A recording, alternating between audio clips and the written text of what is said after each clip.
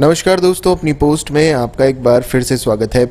भारतीय film industry में यूँ तो कई विलेन हुए, लेकिन अमरीश पुरी के द्वारा किया गया अभिनय आज भी लोगों के दिलों में ज़िंदा है। उनकी दमदार आवाज़ और स्क्रीन पे उनकी प्रेजेंस देखते ही बनती थी।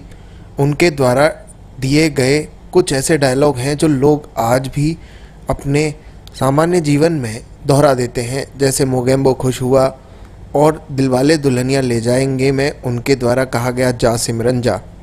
आपको बता दें कि अमरीश पुरी का जन्म 22 जून 1932 को नावा शहर में हुआ था। आज हम आपको उनके गाँव का घर भी दिखाएँगे। यह घर एक सामान्य घर है और यहीं से अमरीश पुरी ने अपने जीवन की शुरुआत की।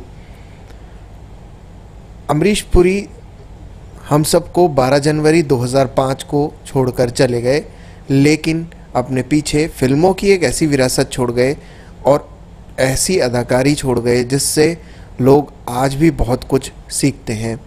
अमरीश पुरी के भाई मदन पुरी, चमन पुरी, चंद्रकांत मेहरा और हरीश सिंह पुरी हैं और उनके बच्चे नम्रता पुरी और राजीव पुरी हैं। उनके पोते और नाती भी फ़िल्मों में आ चुके हैं। हर्षवर्धन पुरी और सची पुरी उनके नाती और पोते हैं। आपको बता दें कि अमरीश पुरी एक ऐसे अदाकार थे जिन्होंने फ़िल्मों में कॉमेडी भी की और ऐसी दमदार विलेन के रोल भी निभाए जो लोग आज भी याद रखते हैं। आपको अमरीश पुरी की कौन सी फ़िल्म सबसे ज़्यादा पसंद है, हमें ज़रूर बताएँ। कमेंट बॉक्स में उनका कोई डायलॉग भी ज़रूर लिखें। चैनल को सब्सक्राइब करना ना भूलें, बेल बटन को ज़रूर दबाएँ। धन्यवाद।